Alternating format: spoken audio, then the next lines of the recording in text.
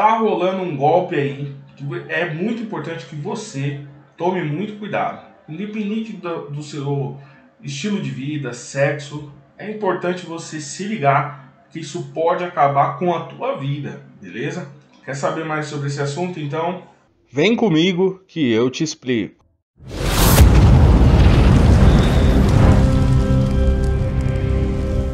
Olá, seja bem-vindo ao canal Cyber Notícias. Eu me chamo Douglas. Hoje o assunto é extremamente importante. Até porque muitos brasileiros utilizam o WhatsApp e podem cair nesse golpe de forma extremamente fácil. Se você não quer se prejudicar, então já se inscreve, ativa o sininho das notificações para você ter na íntegra o que acontece com essa notícia aí, que golpe é esse que está rolando no WhatsApp. Eu vou te dar algumas dicas aí que pode facilitar, mas você tem que estar tá ligeiro, porque se você cair, a coisa pode ficar bem séria para ti, beleza? Então já faça parte desse canal, aí segue a gente no Insta e vamos conversar sobre esse assunto. O que acontece que está rolando o famoso golpe do nude. O que, que seria esse golpe, né? Ah, os criminosos, eles costumam primeiro atacar algumas mulheres. Tem um grupo para mulheres e um grupo para homens.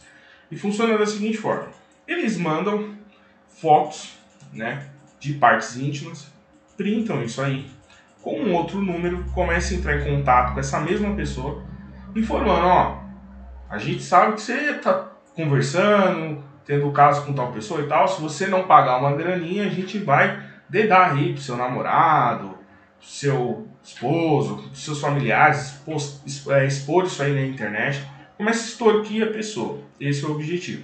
Quando não é isso, eles ligam, né, um, uma, faz uma videochamada, começam a mostrar partes íntimas ou coisa do tipo, só que eles fazem a captura disso ou gravam como prova de que a pessoa está tendo uma videochamada com outra e assistindo essas partes íntimas dessa outra pessoa, criando uma prova contra esta, e depois um outro número novamente entra em contato e começa a extorquir esse tipo de pessoa. Há um outro lado também que é o mesmo utilizando mulheres, no caso, para atacar homens, né?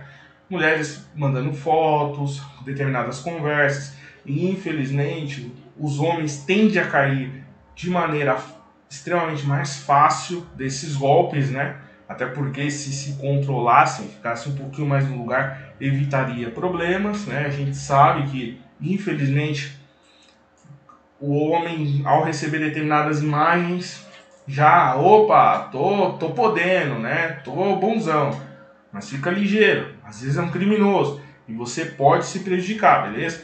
E os caras fazem o que? Mandam imagem de garotas que são maiores de idade, fazem parte às vezes do, do bando, só que depois eles informam a, ao cara, né, que acabou caindo no golpe, a vítima, de que são de menores. E aí começam a criar determinados contatos, se passando pelo pai dessa, dessas garotas e o cara começa a pedir dinheiro vai denunciar na polícia, coisa do tipo, de que o cara tá tendo determinadas relações ou coisa do tipo com essas menores, que não são exatamente menores, mas já sabe, né? O cara pode ser preso pelo crime de pedofilia. Então você já imagina como é uh, o ataque que está rolando aí no WhatsApp, que é o famoso golpe do Nudes, que foi reformulado, era de outra forma, né? E essa daqui é um novo estilo aí que os caras estão pegando muita grana do pessoal. Então fique atento, fique ligeiro, tome cuidado. E a dica que eu vou te dar é a seguinte: toda vez que você receber uma ligação, se você não tem certeza quem é, e é óbvio, uma pessoa quando ela pega um, um número e te liga, seja por vídeo chamada, é, ou, ou por, por voz mesmo, sem que venha mostrar o rosto, que é o tipo de coisa. Aparece só um número. Você tem que ser esperto. Desligue, beleza? Desligue. Se você não tem o contato salvo no celular, desligue. Se você não tem de cabeça o número, também faça a mesma coisa. Desligue essa ligação.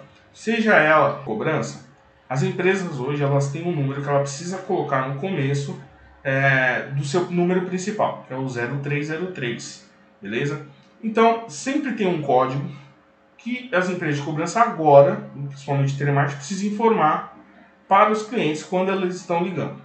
Então já é uma dica para você não cair em golpe ou justificar que você tem dívida e estava esperando ligações de algumas empresas de telemarketing. Isso aí é fuleira. Agora, tanto que se a empresa faz esse tipo de cobrança e não tem esse número, você pode denunciar a empresa, beleza? E esses caras não têm esse número. Não tem como eles colocar esse 0303 a menos que eles tenham aí um sistema de PABX, uma configuração bem feita. Ao contrário, o um número, um número aleatório vai aparecer para ti. Esse número aleatório, é óbvio, você não vai atender. Pare é, de atender e já coloque esse número como spam, já deixa ele bloqueado.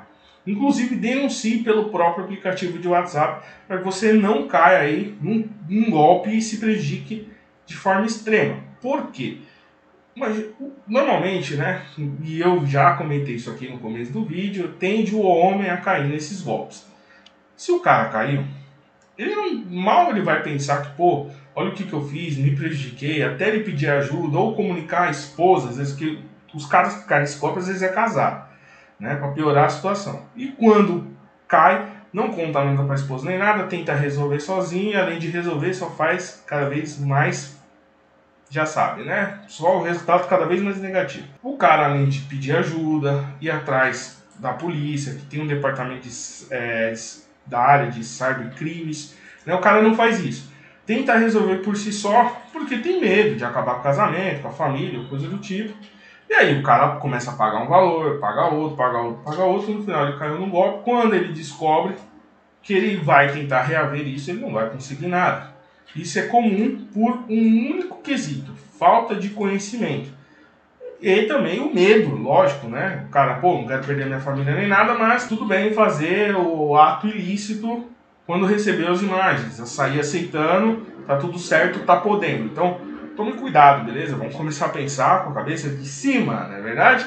Então fica essas dicas, tá? Não tem um, um meio seguro, não há aplicativo para bloquear esse tipo de número. Amigo, se você bloquear, pegar um aplicativo para sair bloqueando números que não está na sua agenda, até os importantes, que às vezes, ah, tô esperando um cliente ligar, ele vai ser bloqueado.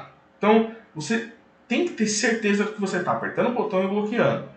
Quer manter um. Ah, preciso de um contato de cliente, coisa do tipo? Já peça para ele, adicione, tá certo? Viu que alguém ligou de, de um outro número e é vídeo chamada? Se for só ligação, até vai, mas vídeo chamada que o cara pode capturar provas contra você, pega e já desliga, nem aceita. Sair ligando assim por vídeo, sem mais nem menos, isso é uma tremenda de uma roubada aí. Você pode cair. E mandou foto, viu que é um contato, um contato que você desconhece, vou te dar uma outra dica. Vai lá no WhatsApp na parte de configurações. Se não me engano, tem a parte de privacidade. Você consegue ali na hora de fazer downloads ou coisa do tipo, tirar as opções de imagem, de áudio, baixar de forma automática para o Wi-Fi e dados.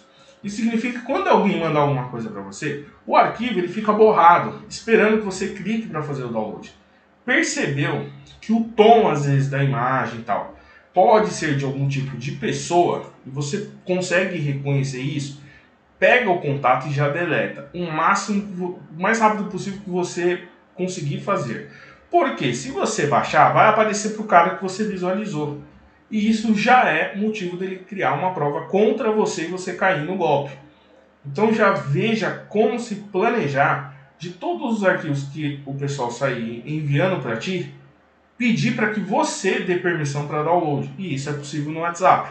Assim, percebeu que é alguma imagem fora do padrão, um contato pela qual você não conhece, volte e na parte onde aparece toda a sua lista de contatos, suas conversas, delete e coloque como spam, faça a denúncia, bloqueie o mais rápido possível para você não se prejudicar. Beleza? Fica essa dica aí para você. Se você gostou desse vídeo, se inscreva, ative o sininho das notificações e compartilhe com seus amigos e com seus colegas. Segue a gente no Instagram. Eu vou ficando por aqui. Nos vemos nos próximos vídeos e falou!